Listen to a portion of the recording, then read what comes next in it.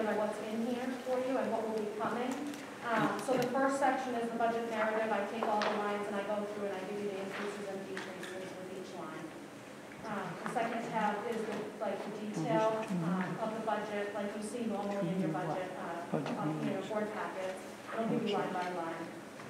The next tab is revenue, this will outline all the revenue that the district is is gonna receive. Um, the next section is blank right now, it's the default budget. That won't be created until we have the final budget done and then we can create the default budget. So once that happens, I'll bring you that to be in here. Um, the next section is enrollment and tuition. So I included right now the, uh, October one enrollment. That's typically what we use to build the budget. However, um, if it fluctuates before we finalize the budget, we'll, I'll give you the new updates because we did, do have an update, um, that'll happen in the. Um, and then once Marshwood sets their tuition, um, I reached out to them last week, I should be getting it hopefully any day now. Um, I'll bring that to you and that will go in this tab as well. Um, the next section is the warrant articles. Once we, um, create the warrant articles, that will go in here, but I did add in here the balances right now in all of your trust funds because that will help determine what you put in for warrant articles, so that is here. Um, the next section is tax impacts, it's blank right now, once we finalize the budget, any warrant articles we're gonna do, I usually do a spreadsheet that outlines what the tax rate increase will be for each of the different warrant articles. And then the last tab is just your school board goals, we like to include that so that you know what your goals are, and then that's for the budget committee we present to them, so that they know what your goals are and how it relates to the budget. So those are all the tabs.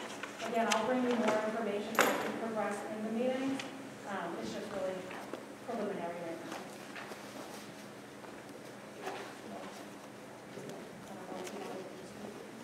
I think so, I mean, I think, you know, again, this is the purpose the we've met, Amy and I, and and Rich met, and we met with Aaron, you know, just try to put some, one thing we met with Nancy, I mean, there's been a lot of conversation to go into getting to this piece here. The only other thing, I don't know if we we're gonna mention at some point about the SAU part. Yep, it's in my memo. Yeah, so we'll, we'll save that till we get to that. So I think tonight, um, because we talked with Right. Aaron the other day, I think the focus tonight, I'll do my, um, the first page of my memo. We only have an hour because of the board meeting, so I'm not sure we're gonna have time to be able to do the line by line tonight. In your board packet, we did add a couple more budget meetings, so I think the second meeting that we do in November, um, November, right? Because- Yeah. Yes. Um, we'll do the line by line go through because, one, we'll have more information because there's a lot of lines that are still waiting for information. And two, we'll have more time because it'll just be a budget meeting, it won't be followed by a board meeting, so we won't have time crunch. So if that's okay with you guys, then that's what I'm gonna do. I'm gonna go over like an overview of, of what's in here, but we won't do the line by line tonight, because I don't think we're gonna have time. That's perfect. We can do an overview that will give us some initial discussions and a lot to think about for the. And it'll give you time to go home and read all of everything that's in here, so that when we meet the next time, you'll have a little bit of background too. So the- there's a meeting on the seventeenth at Oxford. Yeah. Right? Excuse me, that's not at five thirty. That's at five o'clock. But what meeting are you referring to again in November? You're gonna see in your board packet at the meeting, we've added a couple more budget workshops. Mm-hmm. So it's coming, you guys have, it's in the budget, the board It looks like they're in December. I think November No, sixteenth there's is a one of November them. sixteenth at five thirty. Oh, maybe they're not on this. No, they're probably not on the agenda. In the because packet, we I added a didn't new know. timeline. Okay, So it's perfect. November sixteenth, I believe, and December second. So it's in the packet. Yeah. We didn't add it in because they weren't. Gotcha. So, we wanted to, didn't want to be presumptuous. But yeah. So if you all just want to go to that first budget narrative um, tab, and I'm just going to focus, like I said, on that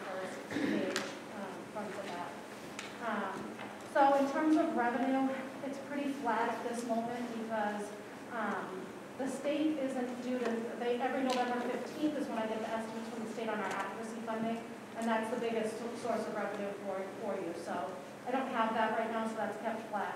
There is a decrease right now of $92,500.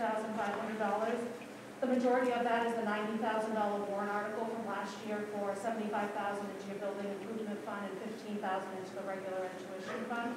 So that comes out of the budget to start.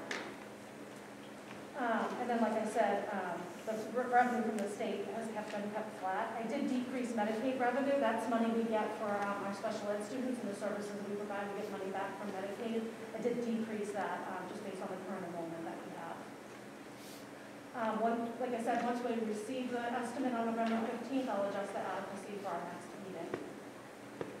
In terms of expenditures, um, right now the proposed budget is five million, six hundred eighty-three thousand, five hundred and sixteen dollars. It is three hundred and eight thousand, nine hundred and nineteen dollars less than the approved budget for this current fiscal year. Um, so the net budget is, uh, two hundred and seventeen thousand, four hundred and fifty-three less. That takes the, um, expenditures and revenues together. At the bottom of the page, I outlined the enrollments for both um, Marshwood and the uh, grade school, just to show you the, the changes in enrollments over the last few years, um, and then the number that we're using to build the tuition um, costs for Marshwood. So on the back side of this page, it goes over some general expenditure items that um, we use to create this budget. So it- this budget doesn't exclude warrant articles. Um, Those will be separate, so the budget will be one warrant article, and then any warrant articles you propose will be separated from that. They get, once they get approved or denied, then they get added into the budget. Um, Medical insurance, we've estimated a a rate increase of nine percent. I went to the school care annual meeting yesterday, um, and they're saying that districts will receive no more than nine percent. The average is gonna be about five and a half, but it could be, I mean, you could come in lower than that, but I built in the nine just to start, um, because it won't be any higher than that. Once, uh, their rates are set, which we approved them yesterday, individual districts will receive what their rates are next week. So once I receive those, I'll adjust it to the actual rates. Dental insurance did not increase. Workers' compensation insurance, there was a rate decrease of nine point one percent, and that's actual rates for, from Primex. Uh, Unemployment insurance did not increase. Property liability insurance uh, was a rate increase of ten point nine percent, and again, that's through Primex, not the actual rate. Um, As I mentioned earlier, the Marshwood base tuition rate, uh, I haven't received it yet. I did reach out to Marshwood last week. Um, He said he was working on it and he would get it to me, so I'm hoping it'll be soon. I think it was due November first, but um, I'm hoping this week that I'll get it. Um, The proposed budget ex- excludes, uh, Rich was waiting for um, costs for a new reading program. Uh, He did send me costs today, so we will be uh, including that in the next round. It's fifty-one thousand dollars for a new reading program um, for grades K to six. Um, The proposed budget does exclude facility maintenance repair costs. We did build in the regular maintenance uh, repairs for just general maintenance repairs. But there are a few projects that we wanted to include in the budget, but we're waiting to receive quotes. So that's for an outdoor buzzer system and office alert box. The ramp repairs outside of the dumpster entrance and the playground entrance. Um, Annex bathroom repairs, which includes the flooring, sinks, and toilets to be replaced. Um, The main, the building girls' bathroom, installing the partitions. We already have the partitions, those were purchased, this is just installing them. And then replacing the sink in the art room with a deeper sink for easier project cleanup. And I don't, I don't know, Rich, if you received any quotes yet for any of those? Nothing full, we've received partial for the annex bathrooms, but we're still waiting for one So- piece of that. We're hoping to update those as well. I think we talked that if we didn't get formal quotes, we would put an estimate in for the next one, so that way we have at least some figures in there. Um, so that's the general expenditure items. There are other fluctuations between the lines for different areas, and you'll see that when we go through the line by line. But these are just things that you're gonna see throughout the whole entire budget. Um, as Lori mentioned, the SAU budget, um, per your agreement with Somersworth, um, Somersworth will notify you of an estimated SAU budget in November, and then they'll notify you of the actual fee for services in December. So Lori and I um, built a schedule for this budget approval, because in the past, we used to have an SAU board meet, and it would include the five of you and the nine board members from Somersworth. Well, when the split happened, the SAU board went away. So now Somersworth is just the one that approves it. So last night, um, our school board budget committee in Somersworth met, and I went over the preliminary numbers. Next Tuesday, the Somersworth School Board will have their board meeting. They're gonna see it for the first time and have discussion. At your November sixteenth meeting, I will bring to you the SAU, uh, budget estimate. So, um, I think I added in your budget, actually, I didn't say that, but an SAU tab. I'll bring that, and that will go in the back, and that will be the estimate we use for the next meeting to build the budget. Um, on November twenty-third, the Somersworth School Board will have their second meeting to vote and approve the fee for services. They're not actually approving the SAU budget because that becomes part of their budget process, which is a later time frame. But they're gonna approve what Rollinsford will pay for services. The number can't increase beyond what they're telling you, but it could decrease, as you know, uh, for the current year. Originally, we built the budget on two hundred and twenty-two thousand dollar fee, but during their budget process, they reduced the SAU budget, and so your fee came down to two hundred and seven, so that's all you're going to pay. Um, and then on December second, um, when we have the second budget meeting, I will bring you that final figure once summer's approves that fee. Do you have to add? No, that's, that's what we laid out, so hopefully that makes sense. A little adjustment as we kind of, as the, the waters continue to kind of settle around the, the, the um, actual operation of the split and what it looks like, you know, this was something here, we're like, okay, how are we gonna get this, so that's why we added those extra meetings, and, and again, you'll see it as part of your discussion in the, um, in the regular meeting, but we wanted to, like, oh, yes, we need to add this and that, and for on both sides, to make sure that there's clarity, so that you got the number and, and aligned with the agreement, um, that, uh, that you have with someone. Yeah, I mean, I think there were a few things that we wanted some clarification on, Correct. right? So, um, for non-union staff, you have, um, three or four non-union staff here. We built in a two percent proposed increase, so I'd like the board's, um, opinion on if that's where you would like it to be, if you want it to be a different amount, so that I can that in. Um, The other one was, uh, the Lindsay's position of eliminating the teaching position. So we eliminated the classroom teacher, however, you kept the money, you have the money in your budget this year. We need to decide if we're going to eliminate that money out of the budget, proposed budget for next year, um, and pay for Lindsay through the ESSER funds. That's another optional thing. And then, um, I know we're gonna hear later from Mike from EEI, so this should wait until probably the next meeting, but that whole ESSER funding discussion, and if you're gonna build any money in Right. for any improvement. So we don't have to discuss that now, because we're gonna hear that later, but just to keep that on your radar. And then, um, I was curious on enrollment. Um, so typically how we build in the tuition is we just move the students up from grade to grade. So the current sixth graders here, we move that number over seventh graders, seventh graders become eighth graders, and so on. But because their enrollment changed so much from last year to this year, I, I don't know how you want me to build it. If you want me to just continue that process and build it on in actual kids, or if you want to, um, you know, in the past, we've done two contingency students. Do we want to keep those two in? Do we want to make it a little higher? So just your thoughts on that, so that way we're not building in. I don't want to cut us too close, so that way in case the enrollment jumps back up, we don't have the funds, but I don't want to build it too high either, where we have extra, all this extra money. So just your thoughts on that. And I think the other thing was we were working through the list, of, again, the SAU services, is something that we had some different conversations about. Um, as you can see, as Katie's laid out for you, um, you know, we have a, a Somersworth of process, um, and the piece that you'll be getting from them at the beginning of December about what that cost would be. But if you were thinking you might want go in a different direction, then what would those associated costs be? Would we build in funds in a different way, you know, be looking at additions or, you know, whatever it is that you're looking to do. So I think that's, that's another piece that, that you'll need to, to sort out. Know you have another meeting coming up with Marshwood, that that's part of that conversation and, and all of that. But we want to make sure that if you want to move down that road, that you plan financially to make that happen, so. And I did pull, um, when Aaron and I, we, we discussed the other day about enrollment and where, why, why did we go down where it needs to go? I did pull some information from last year to this year, just to kind of see. Great. So I have, um, so four of the students moved to South Berwick, so they're still attending Marshwood, but they're no longer your responsibility to pay for, so that's four of them. There were two students who withdrew and and are now going to St. Thomas.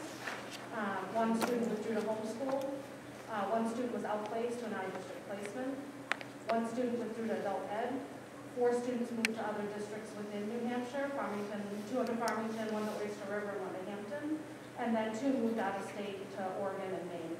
So that's just kind of an overview of kind of why your enrollment went down and where they, where they went. For your, That's really helpful, thank you. you're welcome. Um, Yeah, I think that's a good place to start. Um, Katie and Lori and I had a long discussion about this our enrollment that we're seeing at the grade school and Marshwood. Yeah, this was just Marshwood. Just Marshwood, Yeah. gotcha. And, you know, it poses a problem with sort of estimating for next year if we can't understand what, what's causing the trend. Um, so I've been trying to get a hold of some census data so we can take a look at, you know, how many kids actually live in town. Um, and kind of compare that to enrollment and, you know, upcoming enrollment for younger kids. Um, unfortunately, the twenty twenty census data for Rollinsford isn't quite ready yet. Um, so that's not gonna be super helpful at the moment. Um, but this is a difficult problem when it comes to estimating, especially next year for Marshwood. Um, But if we, I guess if we look at the data that Katie us, you know, if people are moving, eight of them moved or actually ten of them moved. Yeah. So that doesn't really indicate like a huge push towards private schools or homeschooling or something like that. Um, So to me, that makes me think, well, we're not gonna get this huge rush next year of people kind of coming back unless we do get a lot of movements into town, which is hard to predict. Yeah, and I will say, since the October enrollment, they, you have increased two more students, so you went from one thirty-eight to one forty, so two more. Like I said, I can continue to change the number if it increases, up until the point where we have to present the final budget, and that is just what we're gonna go with, Right, right. but, but I can account for these extra two, you know, to make sure we have those in the budget. Um, But at some point, it's gonna get to the point where it's gonna be a cutoff, and, and it's just what we're gonna go with. Yeah, so then the question is, are we comfortable with our usual estimating process and then using like two contingency students? Or do we maybe want to up that contingency uh, for this one year? We also have our reserve fund, which has, have five? Um, right, well, right now it has forty-five thousand, so it's about eleven, twelve thousand a kid. But you're also gonna get fifteen thousand put into that. I have my audit next week. Once that happens, I'll move the warrant articles that passed last year. So you'll be up a little over sixty, Okay, um, in that fund, once that happens. well, that's good. Yeah. And I think that was your intention as a board back then, to build this up to at least five or six students. So that way you could remove the contingency students from the budget.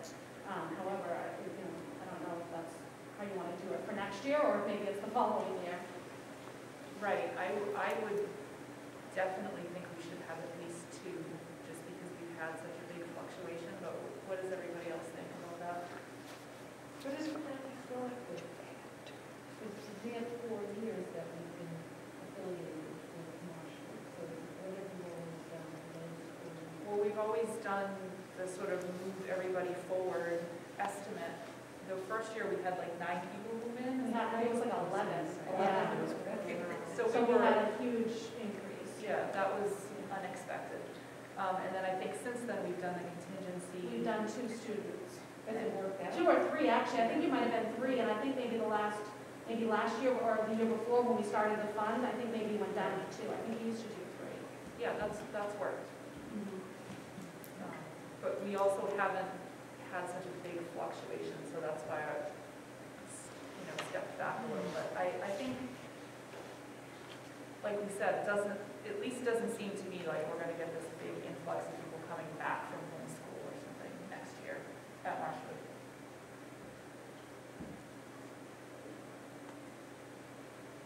And then, yes, I mean, we have to dig a little deeper, but you you probably are seeing same kinds of reasons for reductions for here as well. You know, Yeah. Moving, it's not, again, you know, it, you know, again, thank you for pointing all that, because it does help with perspective, is it, you know, again, with COVID, you know, we saw some students that did go, and, and that's not just here, it's everywhere, um, into programs or schools that, that offered full, you know, in-person learning all of last year, and so we wondered if that's going to be something that will stay with that or not, but that's not what I'm seeing for going forward. Yeah. Most of them have just relocated, and sometimes that's just habits, because like you said, I mean, I remember that, there was a little panic because 11 students moving in a, is a, is a large ticket item. So you just may be, with one of the challenges of small population, you see these ebbs and sometimes. And how do you try to plan for it without over planning or under planning, right? Yeah, I, I agree, that was extremely helpful. Um, So, What's the average? Or. Number of kids. Yeah. Well, I mean, I only did the last few years, but I can definitely pull more years for you so you can see the differences. I mean, you went from hundred and fifty-two in twenty twenty-one, so, um, down to hundred, well, it's one forty. it's usually around 150, right? Yeah, I think it was, The it's trend. been hovering there. I can certainly pull more. Concern I have is there might be, you know, the thing that families would try to avoid moving if they can. So they would want, if their children are already, you know, in school, like to wait till the end of the year. I guess that's not always possible. I mean, there's a, historically, we have data that kind of shows what month of the year we see most of this. Um, We have that number for every, all- every month from when we, start, you know, we do that every month, so. So it's not really, it really is a month, it's just, No, I mean, you might, you see in your budget packet, um, I don't think it's in there tonight, so we didn't have it in time. But we do this cover sheet that shows you from month to month the changes. So I mean, I could pull those for the last few years and see, you know, if there were big fluctuations within certain months. But I think it's probably mostly over the summer and into the next year, where you're gonna see the changes. exactly, so. But it's amazing how many kids do move during the year. Yeah. I mean, I'm always amazed, the kids that Yeah. move in May, and you're Yeah. like, really? Oh. You know, I feel badly, because they've Yeah. almost finished, and sometimes they request to stay at their, at the school they're attending, if it's close by or whatever, but I think we can use maybe as a, a guide, some of the historical data to show what the average has been maybe over the last five years. Yeah, I can certainly do that. And that way, we can say, well, okay, we're pretty close to that as a kind of a buffer. Yeah, Because we don't want to be left in, or should, if there's an influx. yeah. um, I mean, it's in a small budget, and you- you don't have the other funds in your budget to make up for it, that's part of the problem. yeah, that's true. But you do have the reserve fund though, too. Right. Which helps, and you're the agents to expend that, so, Okay. um, that's how it was written. So I I don't think you have to have a special meeting to do Okay, that. that's good to know. Okay, so we'll look at some more averages and continue talking about that. Um, And so that also applies somewhat to the grade school, um, but we did, you know, we did kind of see the decrease in enrollment going into this year, and we were able to take that one classroom teacher out um, and kind of shift it to uh, Casey's position, and she's been um, doing a lot with learning loss, addressing um, pandemic-related issues, helping out in other ways, as we know. Um, And so the question is, how do we handle that position next year? Um, And there is an option to fund that with ESSER two funds, because it falls under that loss of, or learning loss um, that, that we're required to provide. Um, So we have the option to either, please correct me if I'm wrong on this, um, build her position into the operating budget and then pay for it that way, or pay for it with some ESSER funds, or pay for it completely with ESSER funds. And then that gives us another year um, with a really strong foundation, and we can continue to evaluate what's going on with the enrollment. So she's currently in this proposed Right. budget, I did not She make any is, okay. changes at this point, because I want, we wanted to have this discussion before we did it, so it's already In the operating? in the operating. Okay. So, so how many students does she service? And how, long? all day, a classroom, a pull-out, how does that work for her?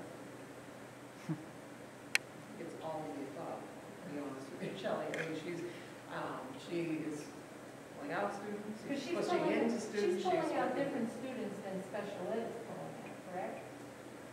Yes, I was gonna say, I mean, she's working with kids. I mean, what we, what we tend to see is, you know, that there may be, maybe certain gaps in, in, in areas. You know, there may be areas that, you know, it was just more challenging to teach, you know, certain skill sets during, um, remotely. So she's working to try to, you know, to address those things. She's also spending time with classroom teachers to support them. So she's kind of an instructional coach in a way as well to try to help support um, teachers and instructional strategies and so on that. That's why I said she's kind of, all the things you listed, she's doing all of those and, and probably, and she's also supporting Rich uh, while he's, you know, having his day in the, in the classroom. But, but her job was dependent on the deficiencies because of COVID, because kids were at home and it didn't work for them. And so now they have to catch up. But they haven't been identified as special ed because they don't meet that criteria, because then they would receive those services, Correct. correct? Or are they getting duplicate services? No, they're not getting, no, it's, it's a different group of students. Different, Yeah, yeah, she's not meeting IEP goals. but She has a current caseload of fifteen or sixteen, it fluctuates through the year. You meet every six weeks. Um, Herself, the literacy interventionist, the literacy tutor, as, as kids make progress or not. They shift who they see, or they get fully, you know, sent back to the classroom. So, Right, so once they meet their goal, they might be discharged and Yes. back in the regular room. Yep. I mean, one of the things I would suggest is you could definitely continue this program. And one of the things we're seeing is, and I think, you know, it was kind of one an eye-opening thing and and something that Nancy, we talked about is, it's not necessarily always the students that we had during that time, it's the students coming in.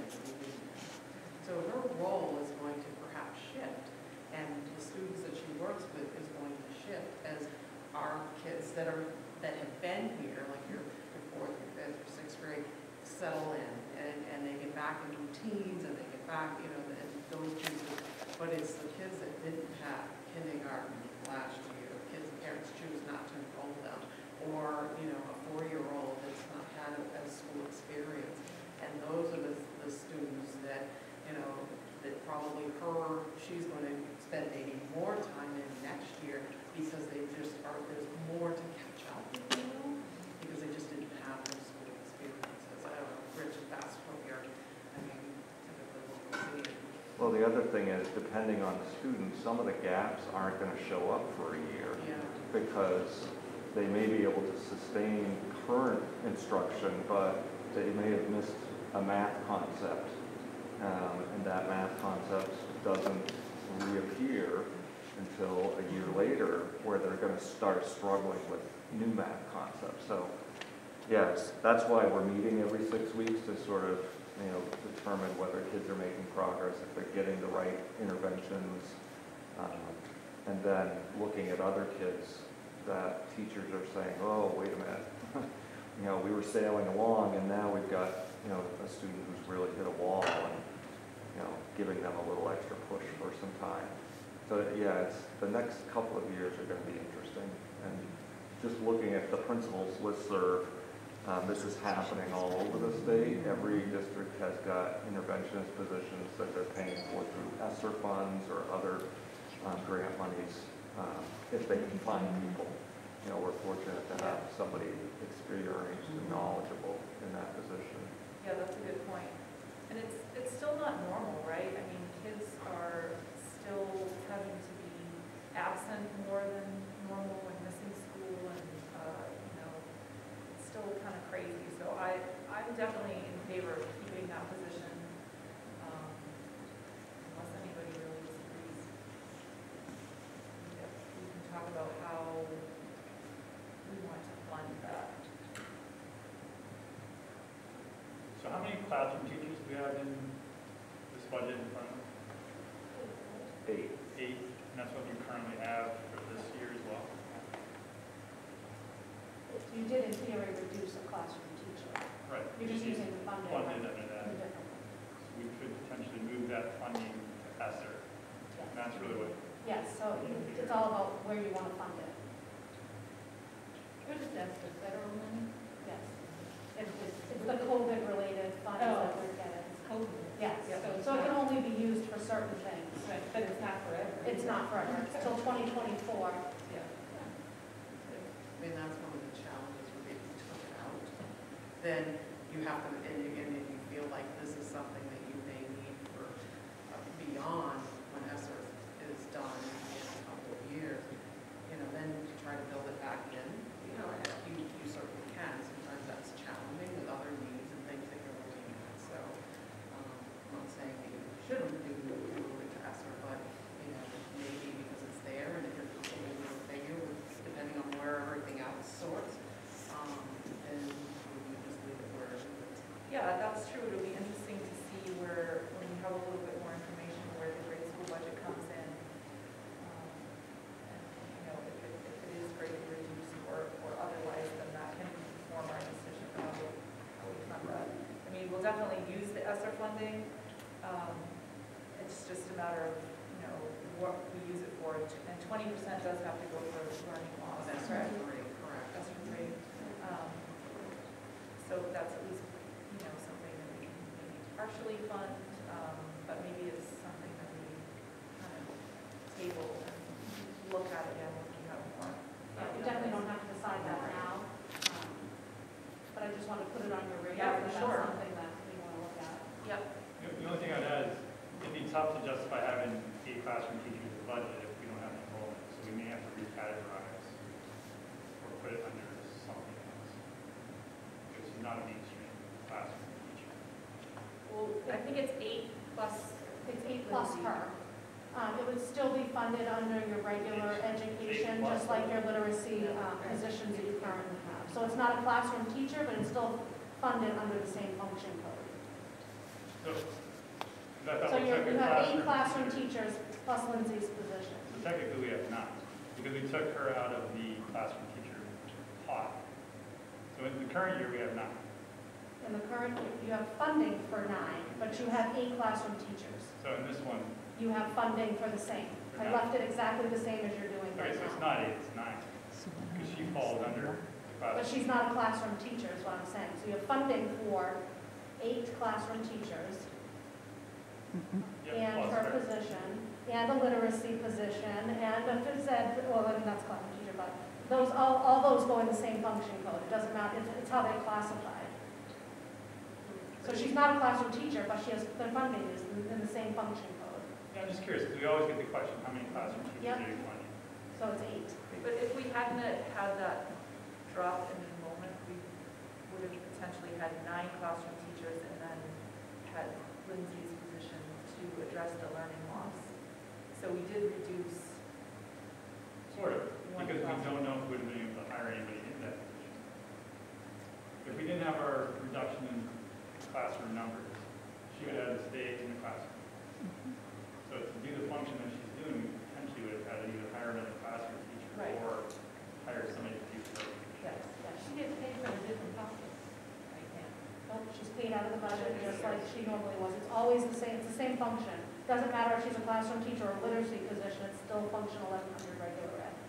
So with the drop in enrollment, do you have the data on the drop in enrollment like we did for Marshwood? Because it's twenty. We do, I'm sure we do. I, I, I didn't pull that wrong. I had Marshwood data, because Marshwood tells me when they, when they leave, where they go. So I have that readily available, but I'm sure pull. Yeah, to some extent, some, yeah. yeah, I mean, we, that's part of the tracking we do with state reporting, so we have some of that, I'm not sure we can narrow it down to a child went to school, well, we might. You might, because the You transfer know, info in Yeah, I was Congress gonna will tell, we might normally be tells you where to- they go. Well, it'd be different if they were homeschooled. Yeah. That's, that's what I was wondering about. Well, I think we, if I recall, from the discussion last year, that you, you, that there was concern, like, where are we going to be?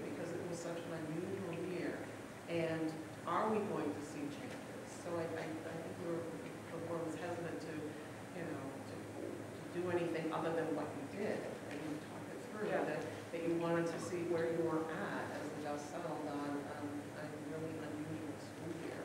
And so it has, but maybe not completely. And so, you know, but, you know, most of what you're seeing, if it's mirrors moving and that's just the way it is, then again, you could also have the other way. We did a few years ago where you have 11 people move in and then you're, you short, you reduced your budget and then you're trying to figure out how to position. Um, so it's, it's just really tough. i also... We're looking at this though, the need for this position um, to be valued.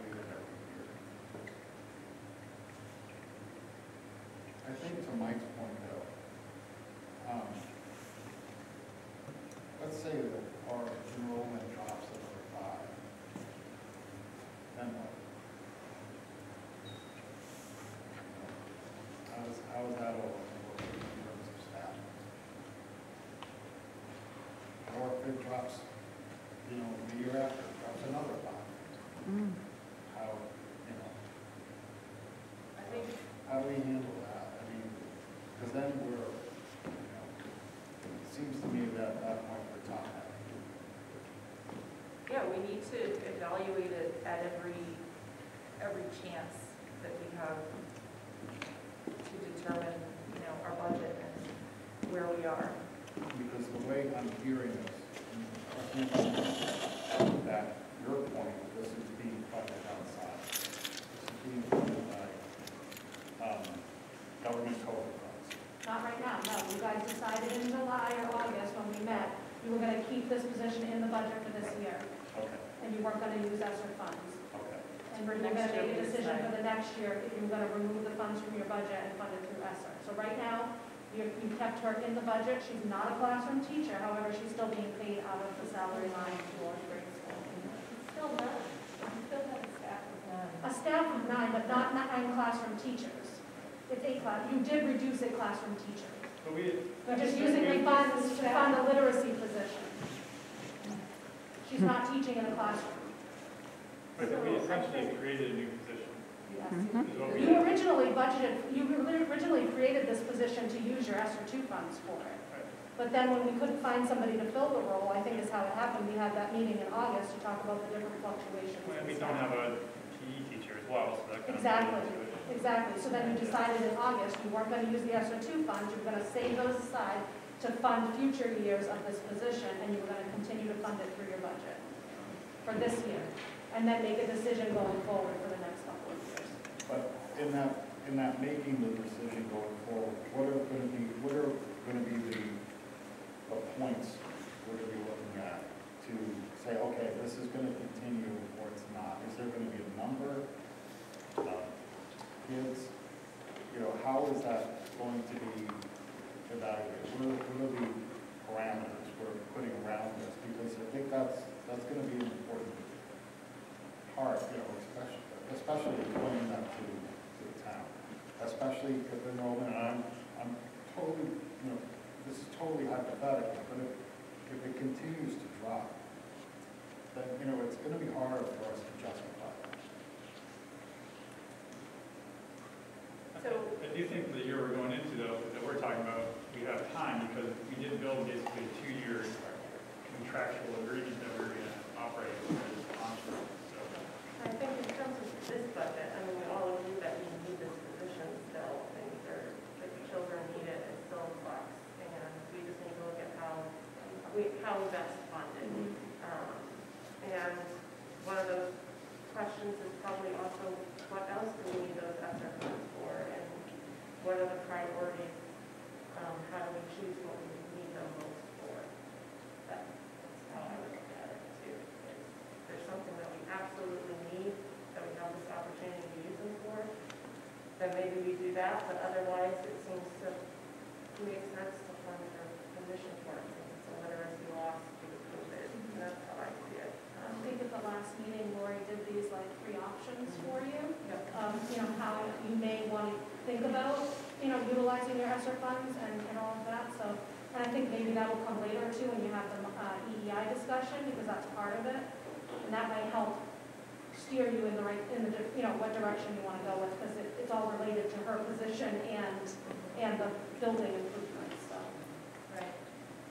And Katie and Lori and I sat this week and looked at sort of our estimates for students for next year. And we don't know who's coming in for kindergarten or what other changes might happen, but it seemed like those, it still made sense to have the same configuration that we have now with those eight classroom teachers.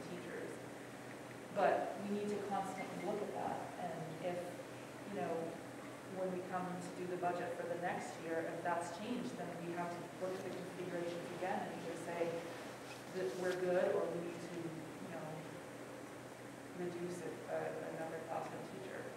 Um, And, and, you know, Yeah, just, it's an ongoing evaluation. Can you use ESSER funds? Is it just for staff or could it be for maintenance or, or besides air purification? It's not- for anything you, for, to prepare, prevent, or, you know, the- Respond to- to COVID-19. So a boiler, is that? is No, that does not qualify. But ventilation. Ventilation would. Windows perhaps, Yeah.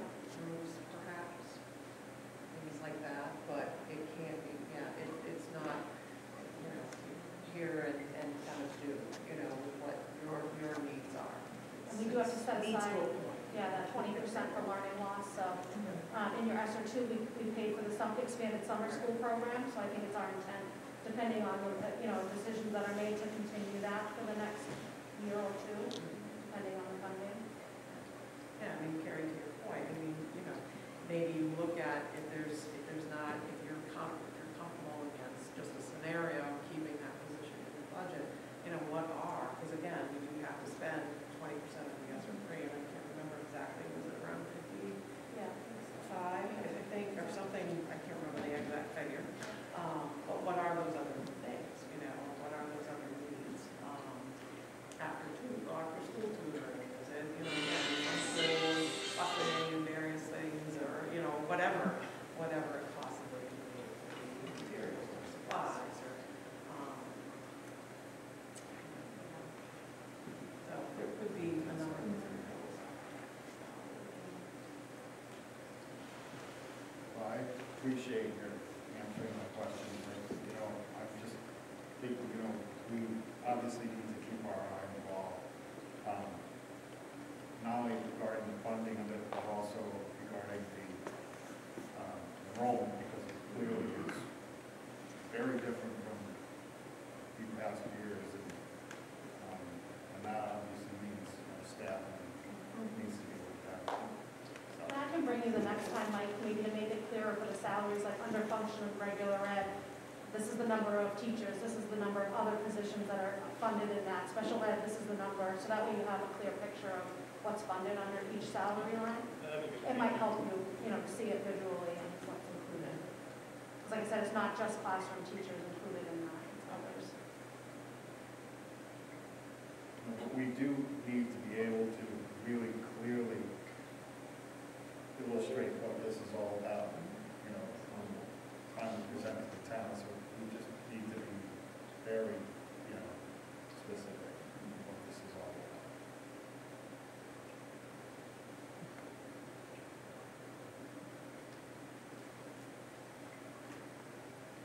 Okay. Moving on. Lots to ponder. Yes, um,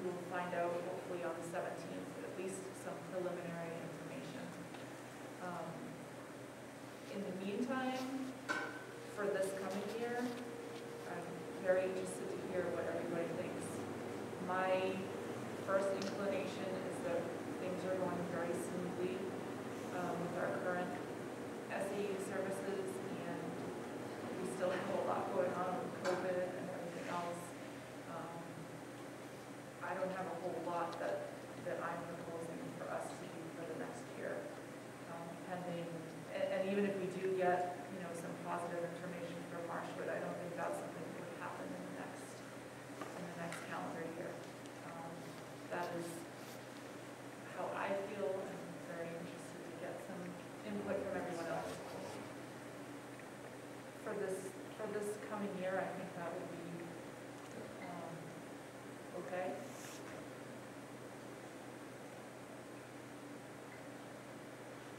I think for the sake of consistency, um, you so much. Um,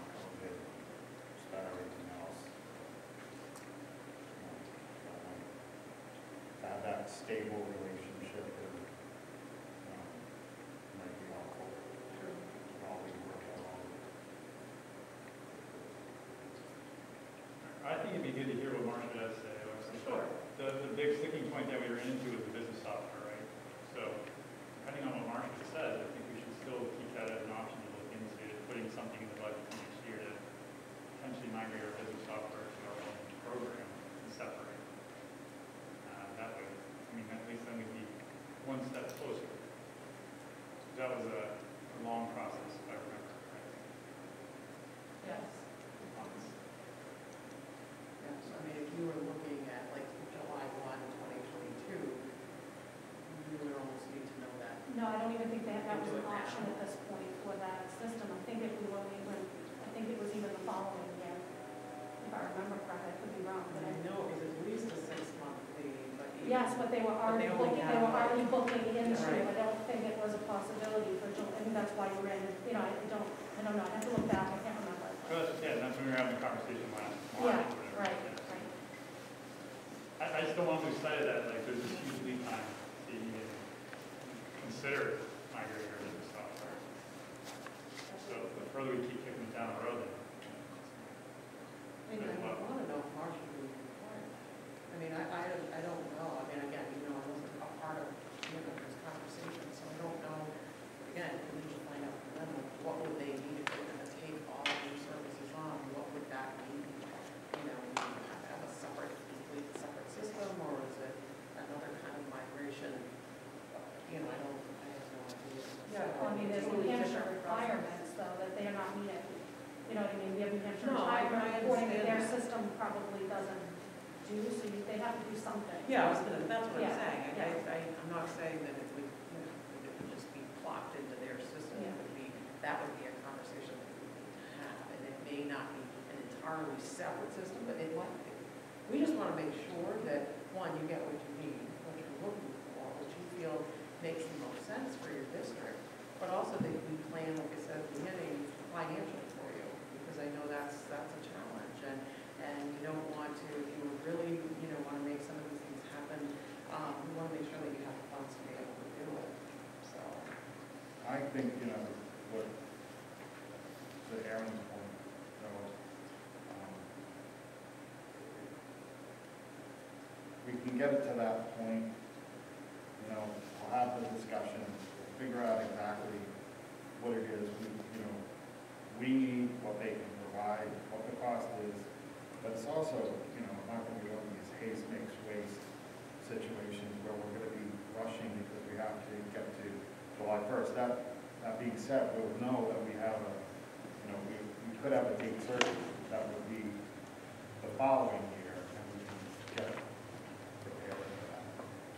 'Cause, You know, when it comes to all this, and, you know, all of the different stuff that's done at the SAU, you know, you know, I don't, I don't know what, what's involved and all behind the scenes stuff, so I don't want to pretend that this is some easy transfer.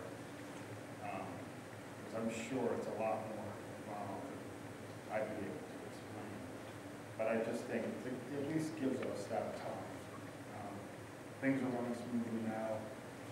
Um, Having that kind of stability, I think is a good thing right now. And By then, hopefully, we're we're done with COVID, so some of the other things. I- I'd just like to keep it in everybody's, the forefront of everybody's mind. It's running smoothly now until we get the SAU budget from summer course, which we have no say in whatsoever. So we have no say in setting the rate for what they charge us. So that's how we got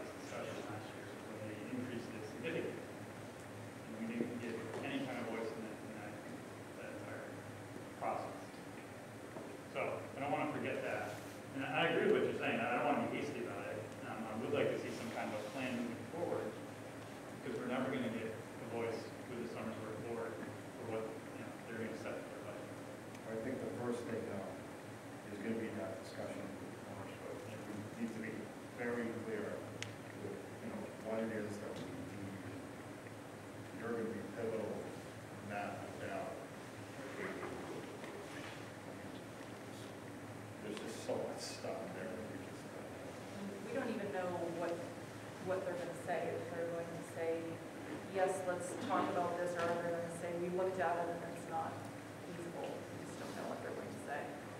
Um, so that will sort of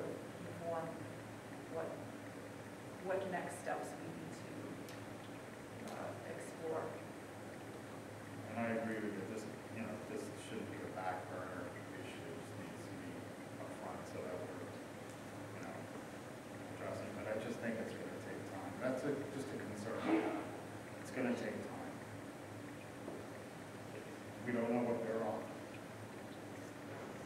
Are there any schools in, in New Hampshire that uh, send their students to Maine besides us? No.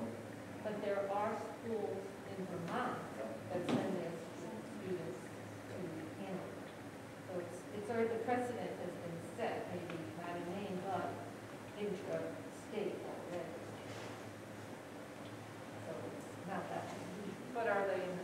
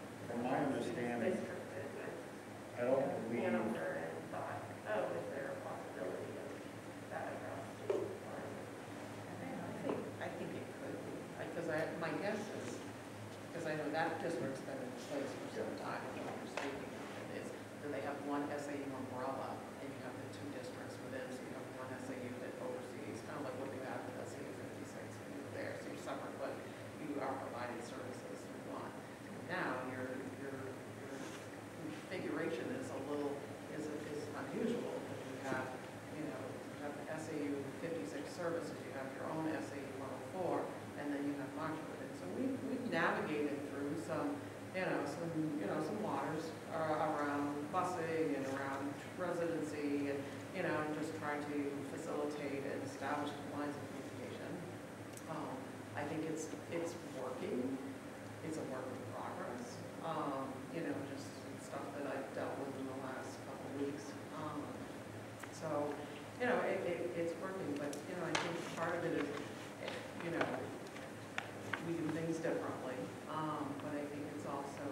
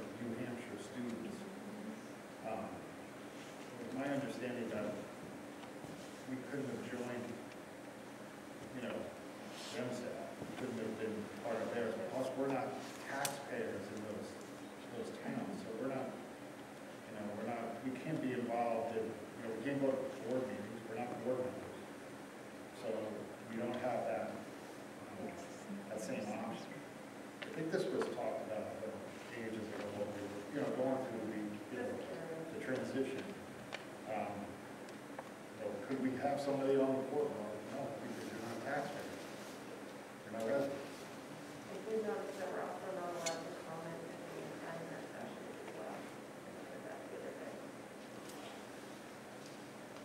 But uh, to answer your question though, I think there is a way to do it where you can become more involved with them. Either they have our superintendent over there or, or vice versa. But I think it's at the national level, to have these.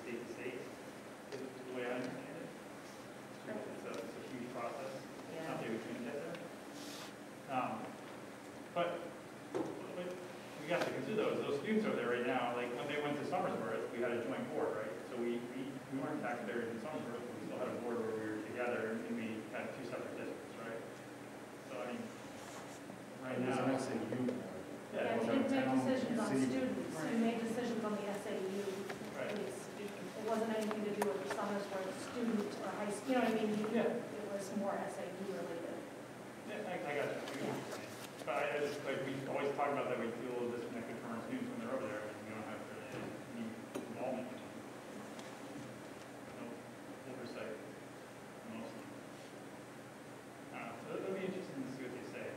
I, I, I think there's a way to get there, I, I don't know if we want to go there or not, because we really just don't even know what the option is. It's almost six thirty. Yep. All right, I think we covered most, most of the topics. Yep. Um, And read through it, if you have questions, let me know, otherwise, we'll, like I said, we will go line by line the next time. Sure. Take that Katie, thank you, Lori.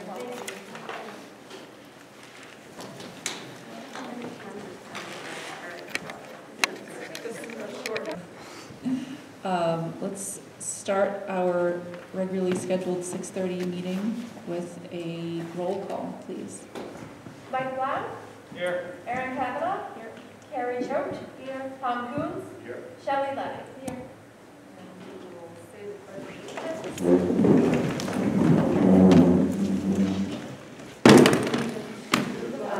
of the United States of America and to the republic for which it stands, one nation, under God, indivisible, with liberty and justice for all.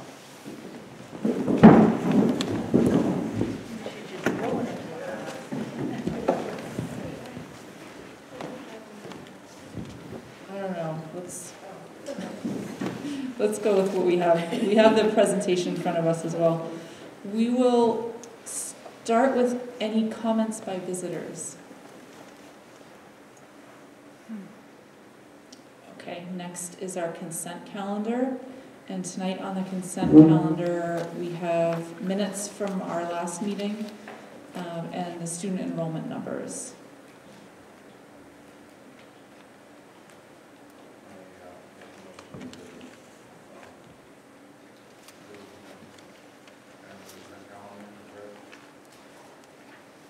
Second.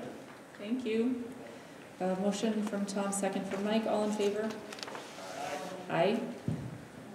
Great, and now um, we're going to just move up on our agenda, the CIP, dis- thank you, discussion item five, um, which is um, talking with EEI. Thank you. So Eric, can- Eric, can you, Do you have the presentation pulled up on PowerPoint, or do you want me to share my screen to show it?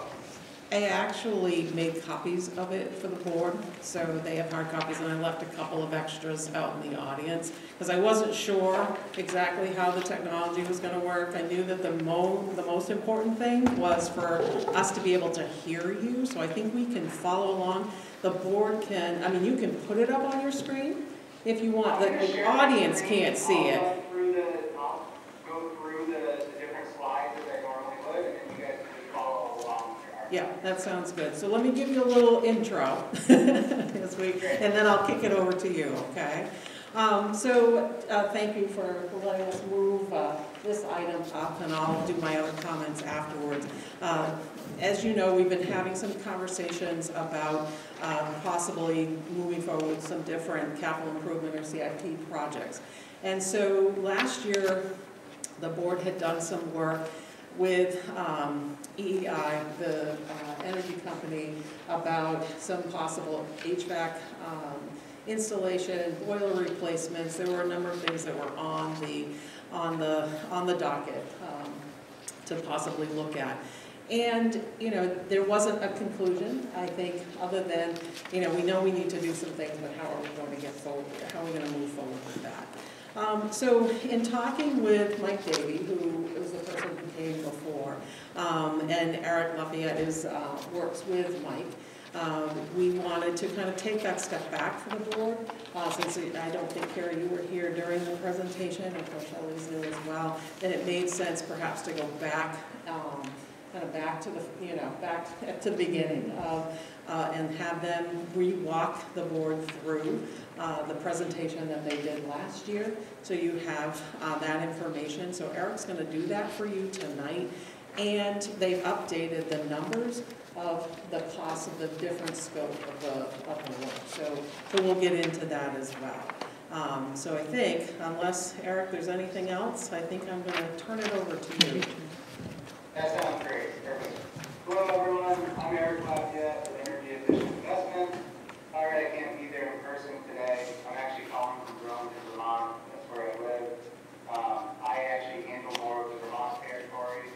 Um, Mike Gady couldn't be here today because he's actually in Minnesota visiting one of our manufacturing reps that's building a bunch of custom air handling units for Manchester.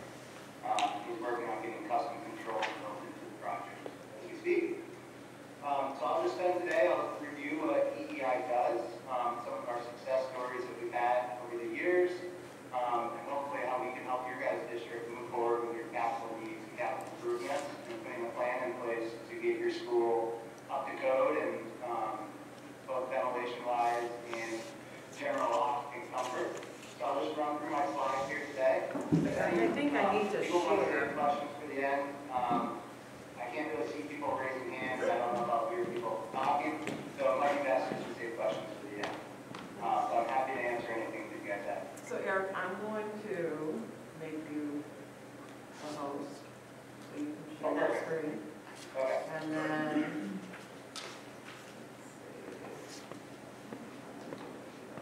Can you share? It says no, right now it says the host disabled participant sharing. Gosh, that host. All right, so I'm looking at you, video.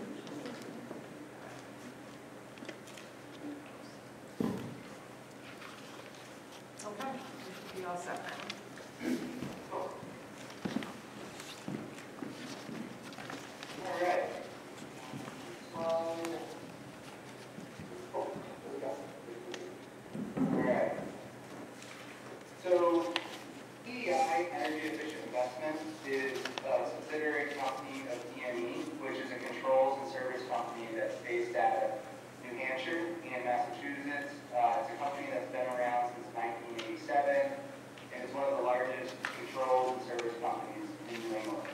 Um, They do work for Harvard, um, the Women's and Children's Hospital in Providence, and uh, EEI itself is located out of Manchester, New Hampshire. Um, EME has more locations throughout New England. Um, EEI was really set up as the performance contracting division for EME systems.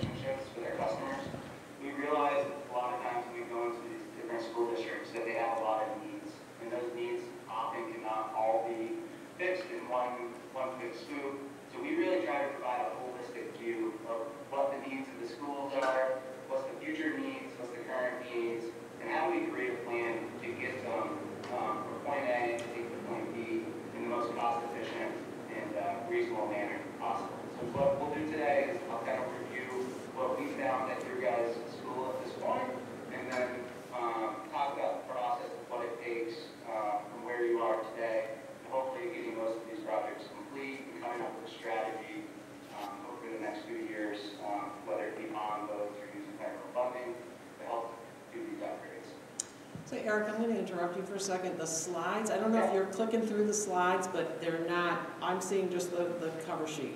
I, you haven't, I'm, I'm assuming you oh, moved. Uh, sorry about that. you need your banner with you to click through the slides, so.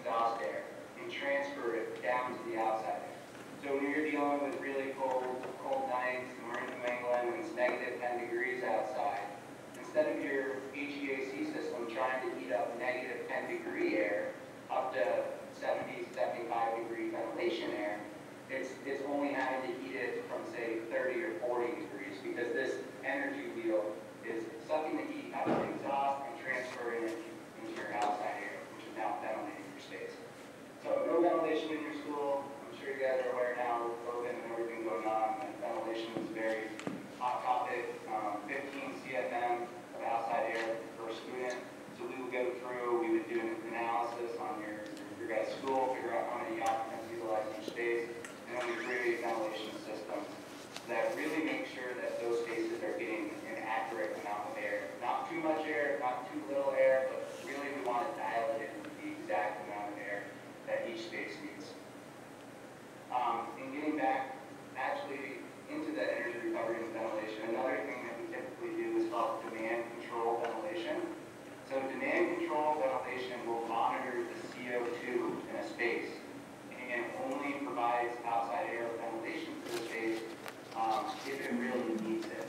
So there's, um, so typically in schools at 1,000 parts per million of CO2, your ventilation system kicks on, you bring outside air into the space, and it creates for better occupant comfort, but at the same time, you're not ventilating spaces that really don't need to be. Um, when you get above 1,000 ppm of CO2, um, you'll notice a lot of yawning in the space, um, maybe people getting tired. Um, and it just, it does not help the occupant comfort, and it, uh, it does slow down people when they don't have the right amount of oxygen. So that's something that we do. We, we provide demand control ventilation. We look to add energy recovery wherever possible. And, uh, we really try to make sure that we're only providing the outside air space that's required by code, and that's gonna benefit the students.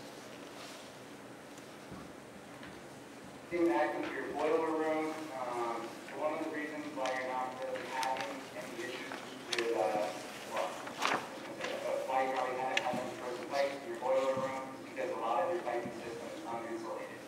So you look in here, uh, this boiler room, this is really like a big cast iron radiator. Um, these pipes are constantly moving from the boiler up to the pump, and without any insulating jacket on it, this boiler room is over 100 degrees in the wintertime. It's extremely hot. Um, it's not good for the equipment in there. It's not made, you know, electrical equipment, mechanical equipment isn't really supposed to be in those hot conditions.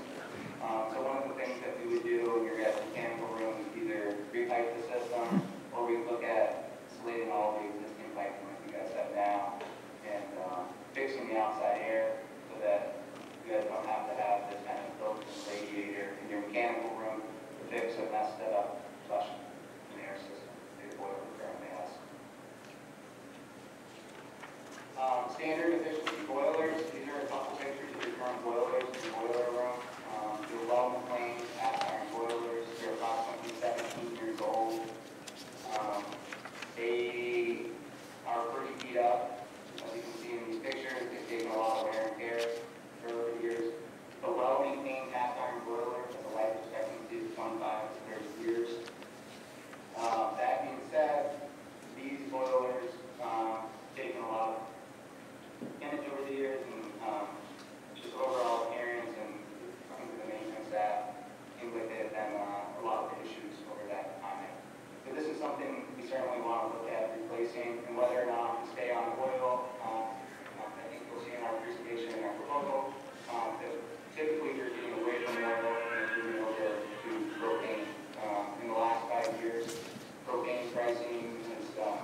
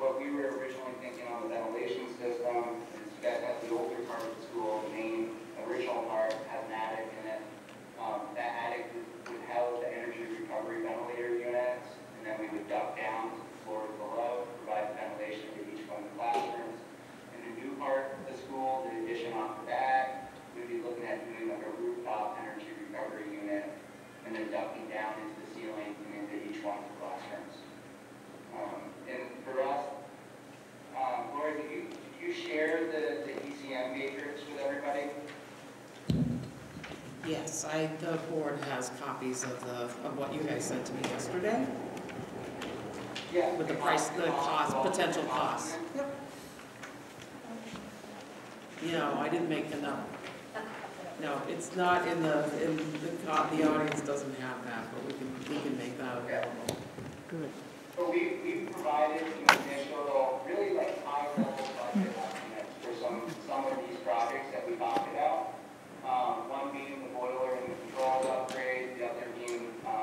foundation and attic, and then um, looking at doing like a solar PV system at the school this year. These are high-level numbers. Um, what we do is we use historical data from other schools in the region um, to look at what type of system that we'd be putting in there. And um, I, I personally come from an SME background doing mechanical HVAC systems. And we have in-house mechanical engineers, and we all sit down together. We come up with these initial budget estimates. And then the next step would be, if this is something, whether it be the ventilation, the boiler, um, any of these options we want to move forward on, we would then bring in um, subcontractors who would design on the system and do a further analysis and really dial in these numbers so that they are, they're more accurate to what the current um, markets provide. Um, that's it. Um, so Eric, I'm gonna ask you to speak to the, the matrix a little bit. So I think just so that the audience knows, you've done some initial pricing, um, just estimates. You know, This is just for discussion purposes. And there's some potential rebates in there. And I don't really wanna focus on those things, at least at this point, because, you know, that's all up, you know, there's, that's up for speculation, right? As far as, you know, what might actually come to be. But, you know, as far as the, you know, as you and I and Mike talked the other day, you know, if the, to help the board kind of wrap their head around, like, what, what pieces of, that all of you have talked about are connected, right? So, Yeah.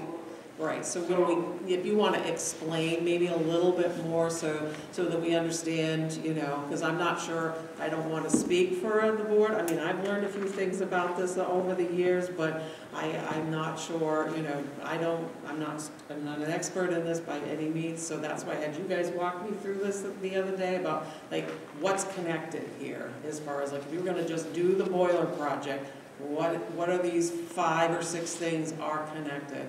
What are, you know, if you're just gonna do HVAC, so if you could explain that, that would be awesome. Thank you. So, um, so when you look at most of, so we provided an ECM matrix, which I have pulled up on my screen right now, it's being shared. Um, the first item on the list is the DDC controls. which You, you need your Vanna to work with you, Eric, because I, Eric, I'm not seeing that, that matrix. I'm just seeing the last part of your PowerPoint. Okay, let me. Let me share.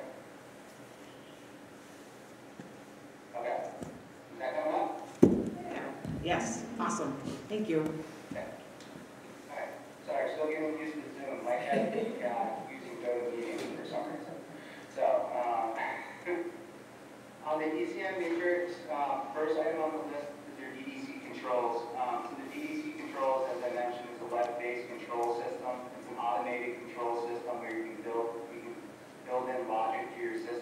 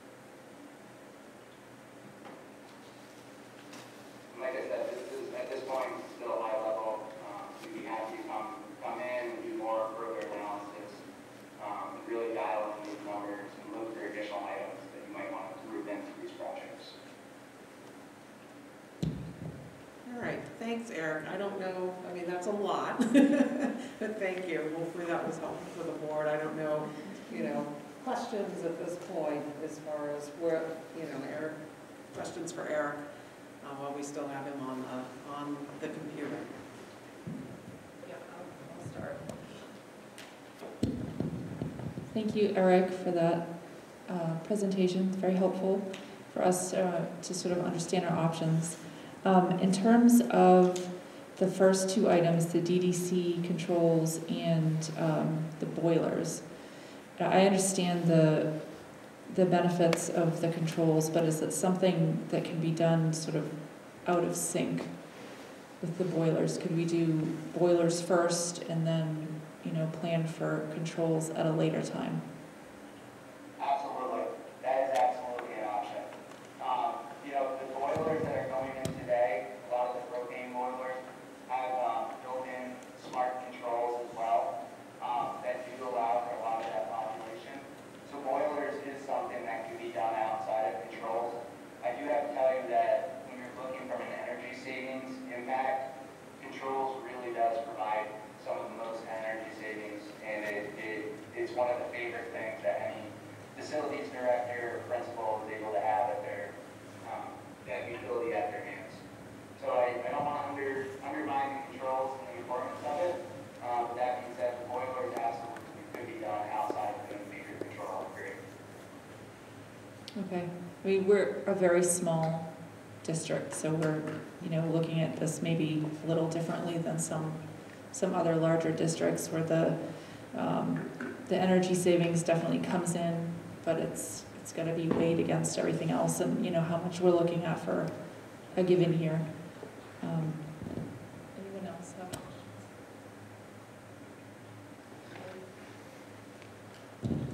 So Eric, one of the things I think, and I can't remember who asked it in the board, or maybe it was Rich when we talked about, you know, you, you proposing, you're proposing a, uh, a propane boiler. And I think one of our questions was, when, if we think about this, and I, you know, clearly we're gonna, if we move forward with anything, it's going to need to be done in, in pieces and parts and chunks, right? Um, So does the boiler, I mean, how do the, how do the decisions need to be made? So when you think about like what you just, you know, in your response to Aaron's question, you know, boilers can come first. But does the boiler, does propane versus oil versus some, you know, it's, you know, wood pellets or something, how does that impact potential other work, such as the ventilation project? Is there a connection between the two so that you would say to me, okay, so if you're gonna do this ventilation project in a few years, I really recommend you go down this road for a boiler because, you know, because it's more energy efficient, it functions, you know, more effectively within the system, or, you know, something along that line, so that we're not making isolated decisions, that we're making decisions kind of with a scope in mind, you know, that maybe in the next, you know, six to eight years, that all of this work could potentially get done. Again, just throwing something out there. That's a great question. Um, so really, you know, these ventilation equipment, um, you obviously have to heat the outside air that's coming in, so you're just not dumping in really cold air into your spaces. Um, so they all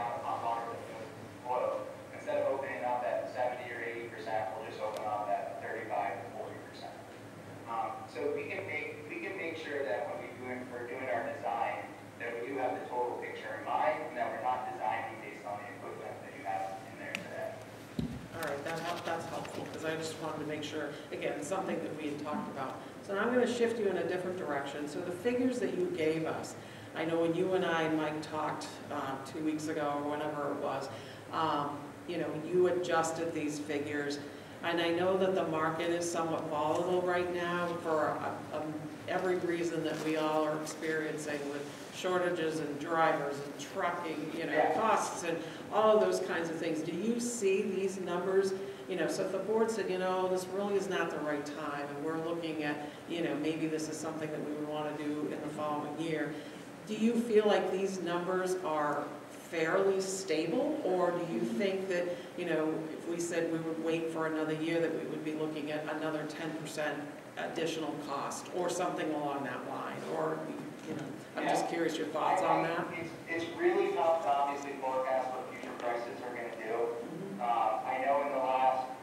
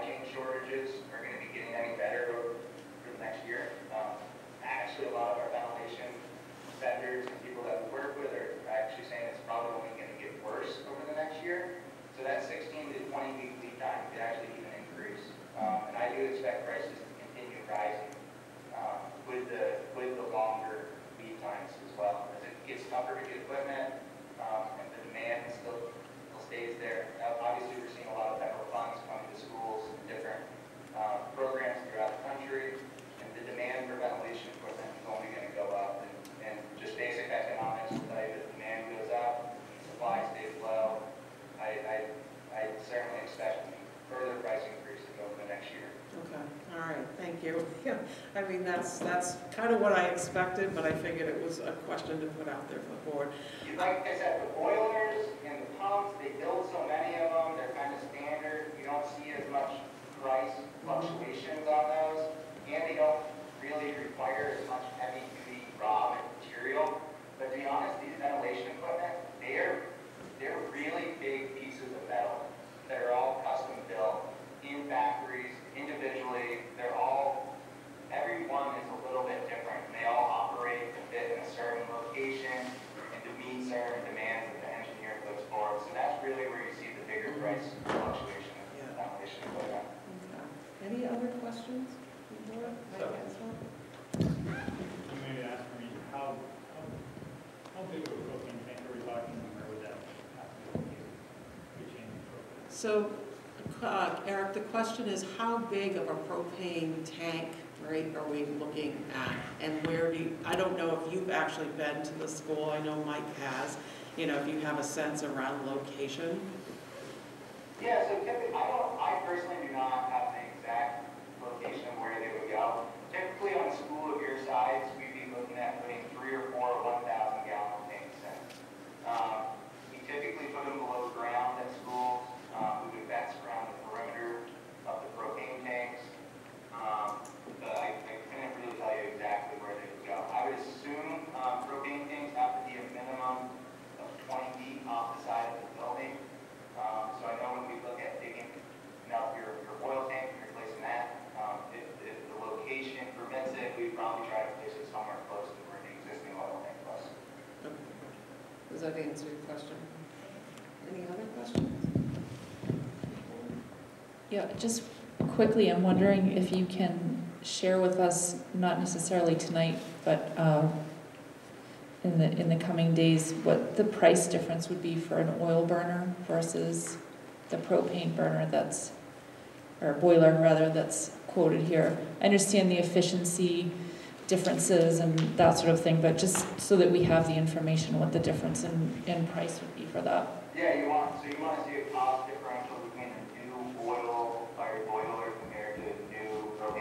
Yes, Yeah, we can do that. They're, they're not gonna be quite apples to apples. Um, because like I said, when we look at going with propane, we would be going with condensing boilers. okay, Um, The other option that we would look at is going with like a non-condensing, uh, propane boiler, which we really wouldn't recommend. Those prices seem to be pretty close to what the oil fire boilers are, the oil compared to that, uh, propane. Um, the standard efficient equipment, when you start going with the condensing equipment, um, you do see about a twenty-five percent price increase. But I'd be happy to, um, really when you're looking at these prices, the equipment is probably closer to maybe around a third of the total overall price. Um, so you might be seeing maybe a twenty, twenty-five thousand dollar price differential from going from a LP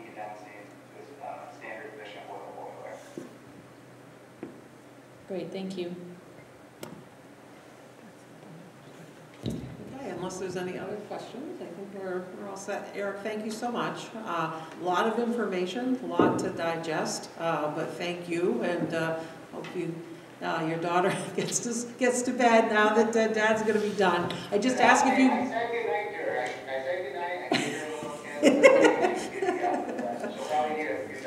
awesome. So if you could just return me to the host so I can end the meeting, that would be perfect. All right, and thanks, and we'll be in touch. Thanks so much. Yeah, thank you. Good night.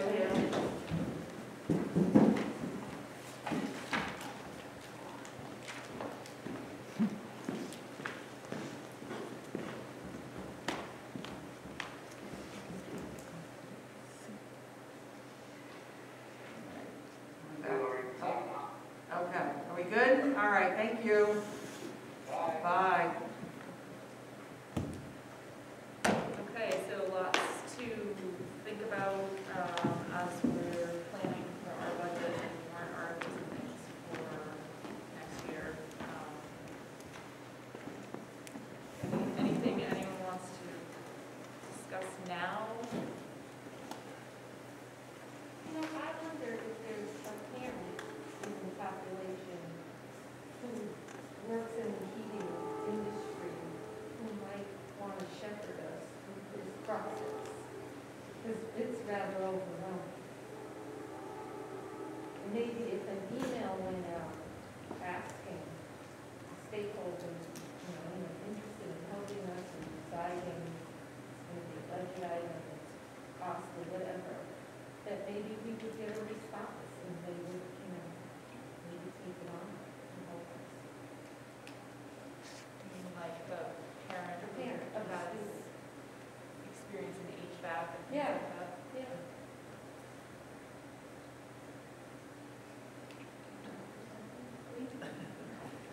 So a couple thoughts on that. I mean, Eric's company, EEI, has done, I mean, they work with schools, mostly in New Hampshire and Vermont. And so what I would suggest that, I mean, any, all the work that they've done so far for, um, for the grade school has not, has come at no cost.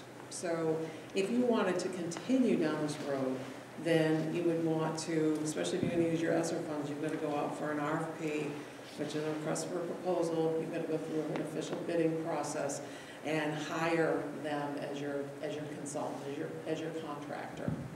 And what I would suggest is that you may want to have a committee that has, you know, so to your point, Shelley, I mean, it is a lot, and it's, again, I've learned a little teeny bit, I feel like, but, you know, there are people that need, that have certainly way more information, so you may want to have um, a small committee to kind of oversee this project, um, kind of like a, a building committee, if you will, um, that would be maybe a board member, and Katie and I would sit in on that, and, and maybe, you know, a member of the community, if there was somebody that's interested, that could kind of shepherd the process going forward. Mean, you also have a facilities director here in the, in the district, so you would certainly want to involve that person. Rich would be involved uh, in the conversation as well, so that, you know, you're able to make decisions that isn't necessarily, and the- it could come back to you, you'd have to figure out how you want your decision-making to go, um, so that you can continue to move the process forward, because sometimes you have to meet on a much more regular basis than, than once a month. So, you know, that was just some thoughts for you.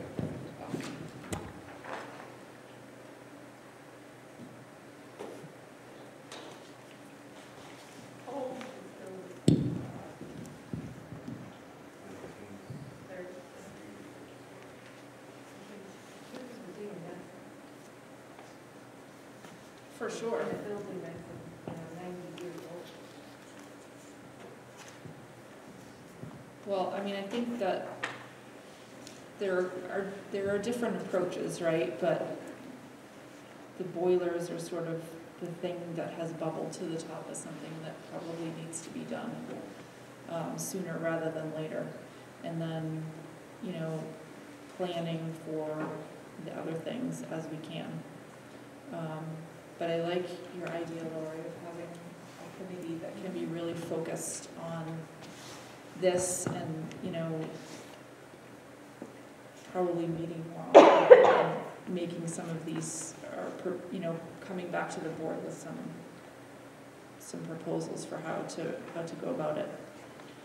Um, I don't know how we would go about maybe finding, if there is a community member who wants to sit on that board. Um,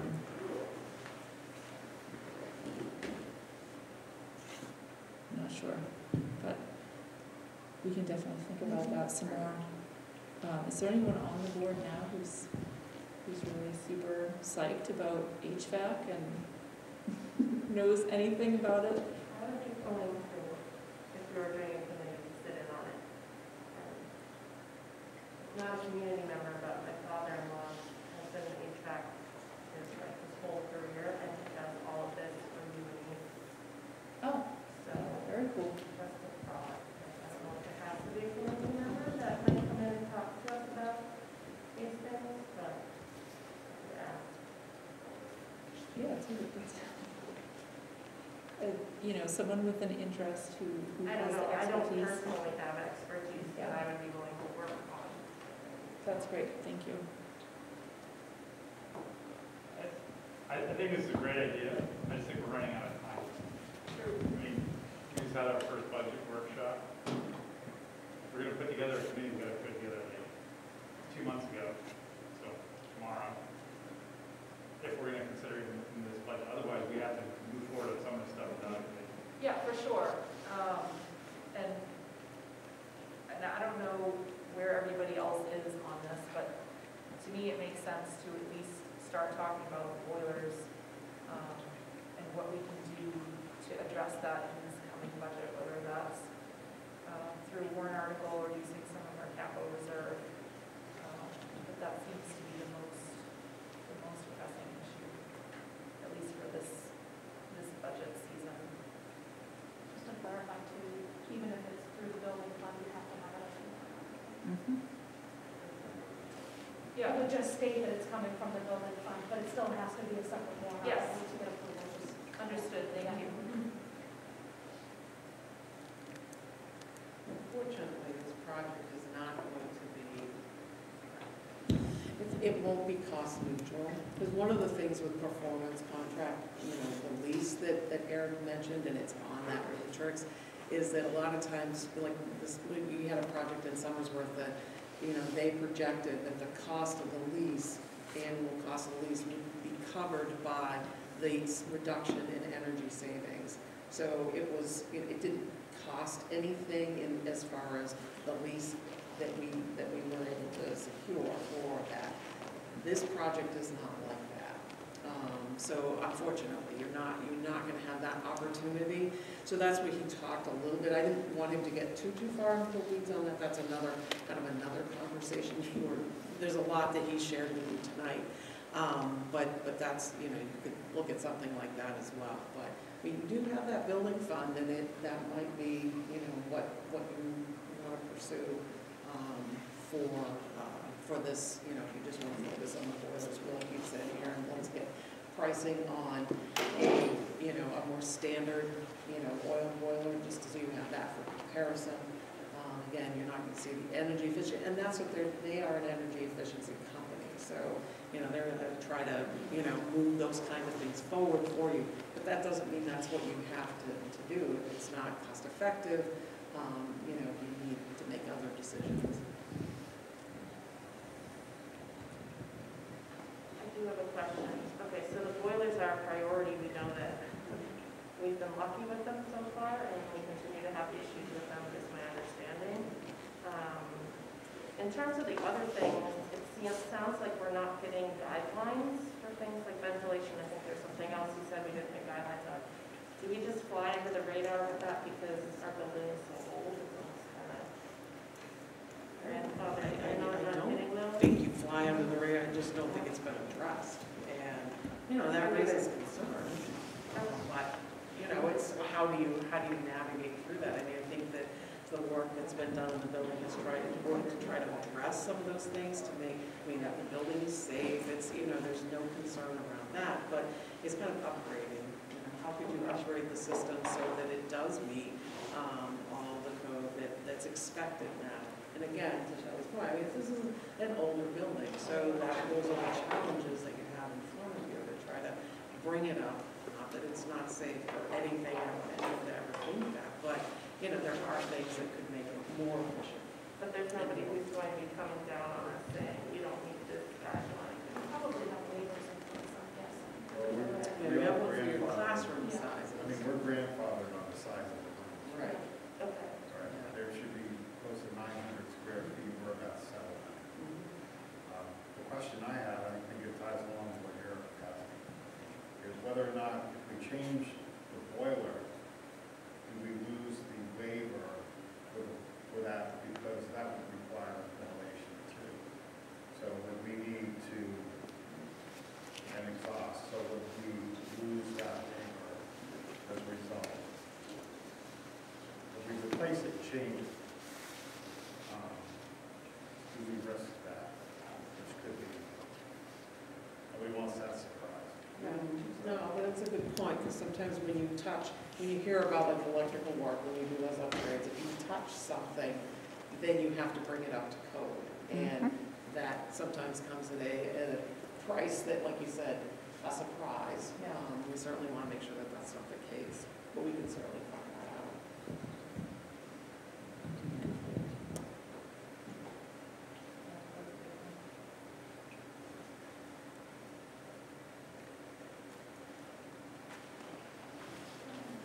Shall we forge ahead on our agenda tonight?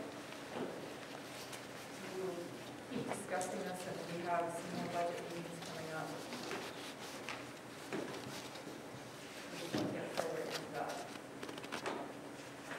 Um, Lori, I'm sorry, but it looks like we are, we're back to you. This is superintendent's update. I know it's long, and again, I appreciate everyone's indulgence as we, as we work through this. This is, you know, it's an important topic, so hopefully the information from Eric was, was helpful and not too, too much. Um, There's always a lot. I guess, you know, for my own report, I would just add, um, you know, it's this time of year as we're getting into the holidays, and we have various, um, you know, dates that we're out, you know, and I just always remind folks, just be cognizant of the calendar. I mean, it's hard to believe it's November already, unless you were like me this morning and had to scrape a fair amount of frost off your windshield. It's like, oh, here, here we are.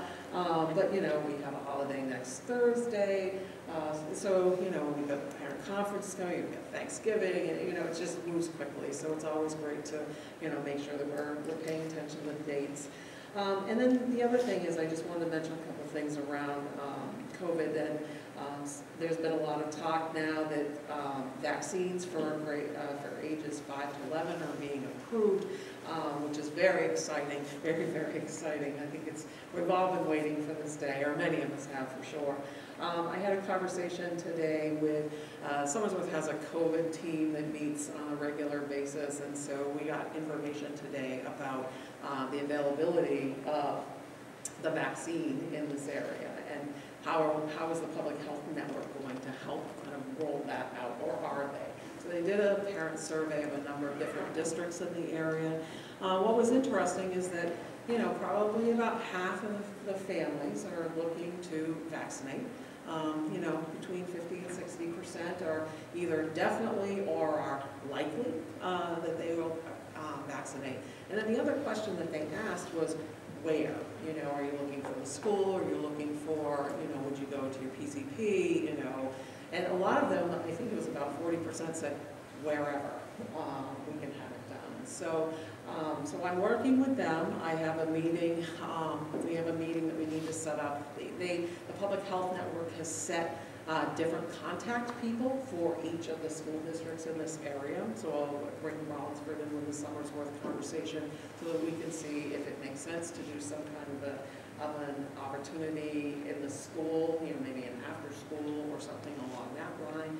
Uh, certainly work with Gail and Rich on, this opportunity. So I don't have any other more solid information for you at this point, but it's definitely something that's in uh, which is, which is exciting.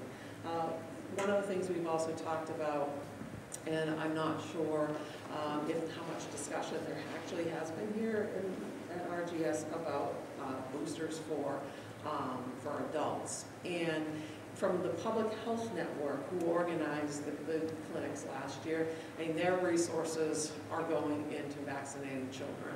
So they really said, you know, if we had tons and tons of folks, we would certainly be able to make those opportunities available for staff as well.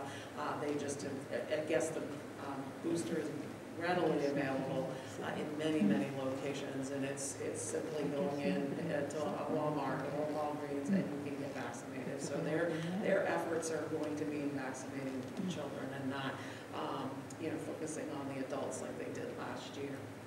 And then the last thing I want to mention is that there are districts that have started to do testing within schools. And, you know, it's a difficult thing. I mean, there's a lot of, you know, is this something that you should do, you shouldn't do? I mean, it's, it's a conversation that I think um, each school has or, or or should have about what makes sense for, for their school, for their population. Um, Sometimes it does make sense depending on what you're seeing, if you feel like you need to monitor. Um, You know, and sometimes, you know, there's, it doesn't make sense. So, you know, there's, there's different companies that can help with, with that. Um, You know, if stuff, if that was at some point something that, that the school wanted to do. Um, You know, I, myself, I have kind of, I've been on the fence uh, about, you know, is this something that we should be doing, uh, this asymptomatic testing? Um, You know, because we also want to make sure that, you know, parents are not sending kids to school sick. Um, You know, we're not ConvenientMD at- at schools. And, and I think that, you know, we're seeing, we are seeing some of that at times. And it's, it- and it's frustrating because we want to make sure that, that kids, you know, all of our kids and staff are safe and healthy and, uh, and everything. So, uh, so I think it's just, you know, more conversation uh, as we go forward. And again, it may be less relevant as the vaccine is going to become available, you know, very soon. So, um, you know, so, you know, more to, more to follow on that. But uh, anyway, I know it's getting on late, so I will end my remarks there.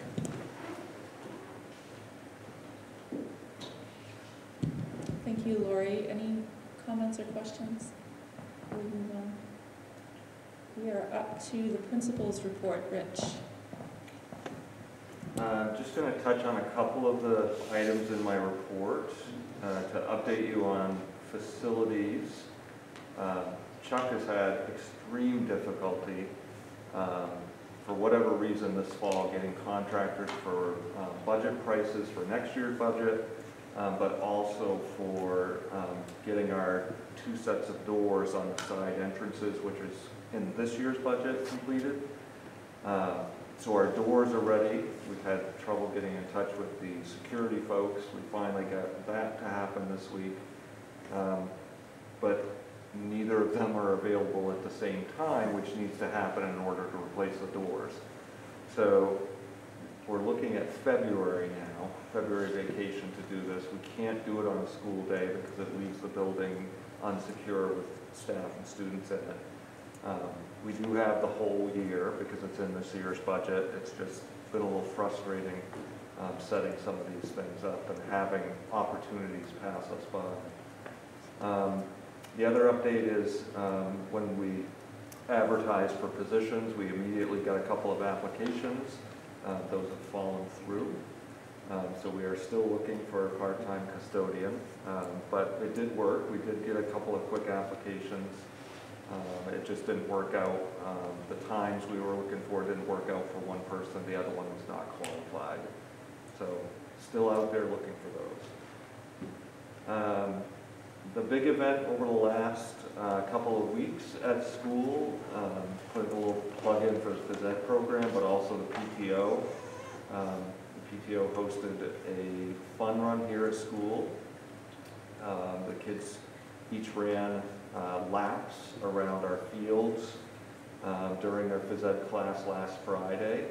Um, I didn't know what to expect. I'm an avid runner myself, but um, we pitched it as a fun run, not a road race. Um, So it was non-competitive, but, you know, a lot of kids have that inner competitiveness and set goals for themselves. Um, I can't recall any kids really grumbling hard that they had to run. Um, I told them that they could walk if that's what they chose to do, but every child at least ran parts of a 15-minute run. Um, The greater thing was, it was a fundraiser for the PTO. Um, We had a goal of three thousand dollars. Um, And that happened within the first four days of the fundraiser. And as of last night, they were up between nine thousand and ten thousand dollars. That's So- incredible. Yeah, unbelievable for a small town. Um, About 90 kids registered to raise funds. Um, Anywhere between $450 all the way down to $10. Um, Kids raise different amounts of money. So it's been a great boost for the PTO. They now have a really nice um, little budget that they can start thinking about for future family events um, once we get past all of this COVID stuff.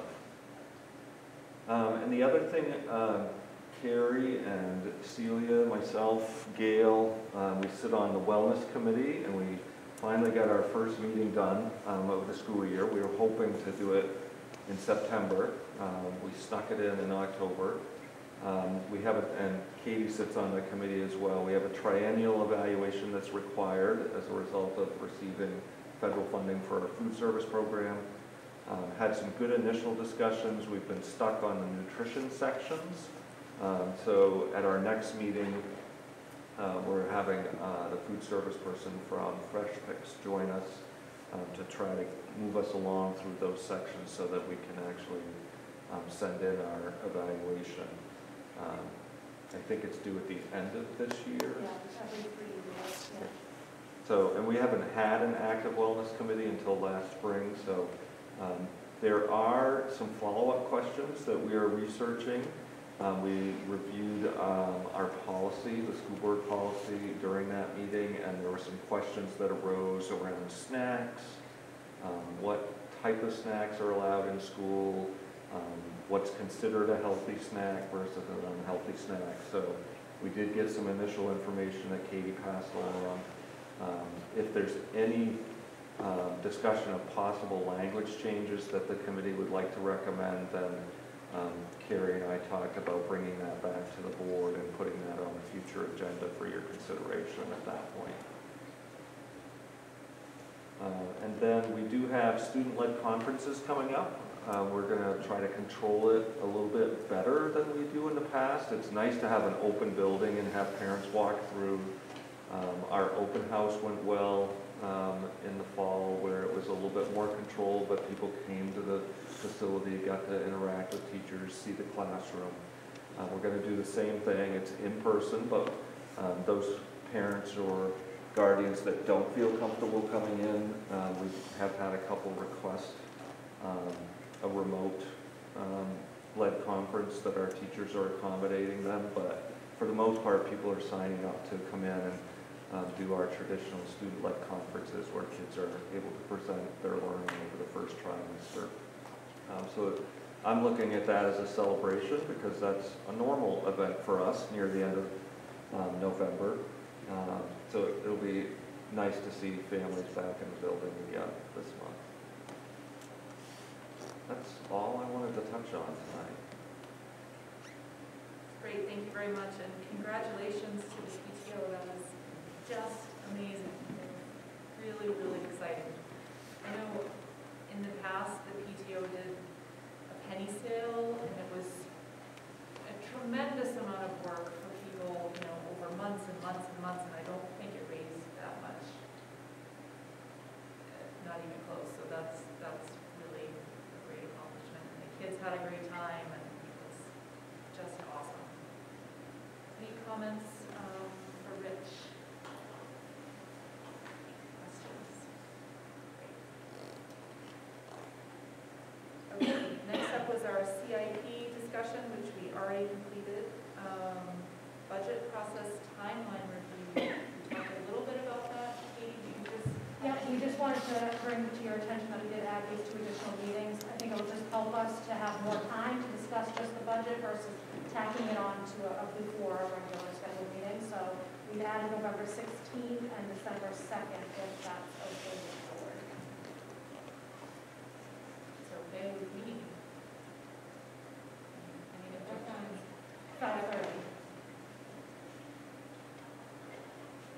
I think you're right, it's. it's We did did do this last year too, Yeah. we ended up adding two more meetings, we were on Zoom last year, so a little bit different, but, um, we did add two meetings. I think going forward, when I create this the following year, I'm just gonna build those two extra Yeah, meetings that's a good Because I think it just makes sense. By It's too much to do in one hour before each meeting, so, Yeah. um, I think we'll just do that going forward. And if- if we get so much accomplished at our November sixteenth. Yeah, We may not need. amend that, but I think it's good to, to keep Yeah. them in there. Definitely. Okay, and that segues us into my budget the- update. Yep, Um, so the only thing I really have since the last update is I did, we did receive the special education invoice for Marshwood, so I have encumbered that. Um, we are showing a savings in that area too, hundred thousand dollars. However, we're still waiting on a couple of students' IEP information for new students, so that number will change once we get that and, and Nancy looks at it. I'll encumber those students as well, so we'll have a better picture once we receive that information. Um, and then the revenue really hasn't changed since the last update. so it's okay. And I actually have one more thing too, if I can add it, it's not on the agenda, Sure. but when we met the other day, we talked about the oil pricing. yeah. So normally, um, the town works with me in conjunction to set the oil prices. I never heard from anybody, or P. Gagnon, our current provider, and I don't know if it's just because Caroline left and usually she was the one who contacted me. So I did reach out to P. Gagnon myself after our conversation, um, and he is gonna lock in a price for us guaranteed through May.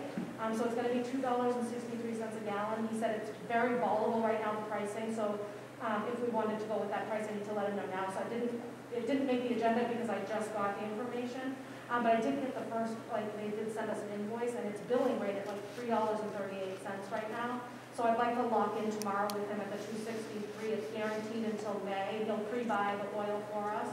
And then, um, over the summer next year, I'll make sure that I get on his radar to deal with, just send it to me directly so that way we don't miss any opportunities moving forward. So Thank you for I checking just on wanted to that. get your approval for this so that I can move forward. Yeah, that seems like a good idea. I think it's gonna go up. So I'll walk in with him tomorrow. Thank you. Awesome, thank you, thanks for doing that. Any uh, budget questions or comments? Okay, We have some policies for first reading up next. Um,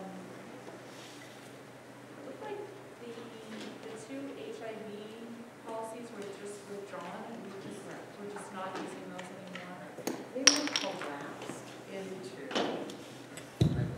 Um, And I was surprised, actually, as I was going through kind of where you're at with your policies uh, and updating, and as you can imagine, there's always updates and, and and things. So last year, you approved a communicable disease policy, which was a new policy, which basically kind of expanded um, these two policies are being withdrawn it to cover uh, more communicable diseases um, than uh, HIV uh, AIDS. So that's why those are withdrawn, and everything is collapsed into, it's EB, I don't- I don't recall, it's in the E's, uh, but that's, that's why uh, those are being Okay. withdrawn. So they were just left. It was just an oversight on my part to not have you deal with the withdrawal at the Okay, same time. that makes sense. So I wanted to clean that up for you. And then the other one is the staff health piece, and I think, and I know Gail's here, I don't want to put her on the spot, but when we were meeting last year, Gail uh, attended a number of meetings with the nurses in Somersworth, and this was one that we dealt with, and if I recall correctly, if I can find it, um, what we were looking to do is change some of the language, because there was some language in there about the nurses being uh, basically responsible for the employment uh, physicals, and that's just not the case. So we adjusted that language. That's the major change there. Uh, That's something that the uh, the SAU office handles, that's not Gail's responsibility, so we just cleaned, that's the major change uh, in that policy. Okay, thank you. Um, Yep, does anyone have any comments or questions on those policies that we just have for first reading tonight? Great, we will hold them and read them again, and then vote at our next meeting. And then tonight we have some second reading policies, um, GBEF-R for acceptable use and JFAA for um, student residency. And Are there any comments or questions now that we've read these twice?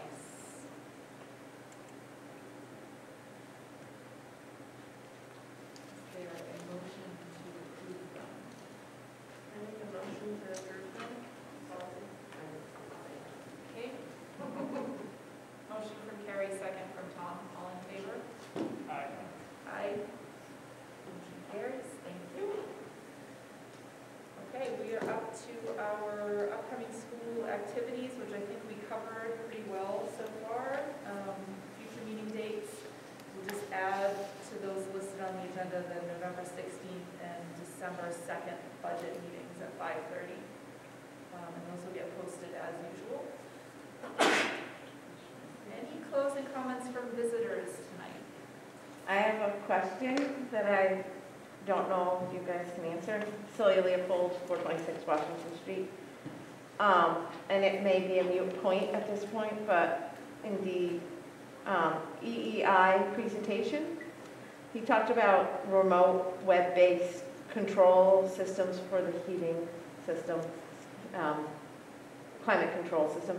Is there a um, fail-safe method to that or backup plan if um, the electrical or some disaster hits the town and electrical goes out, how do we handle what's going on at the school?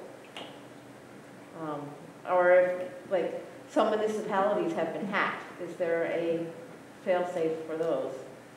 And that may not be a point to address at this time, it may be a future point. Good question, thank you.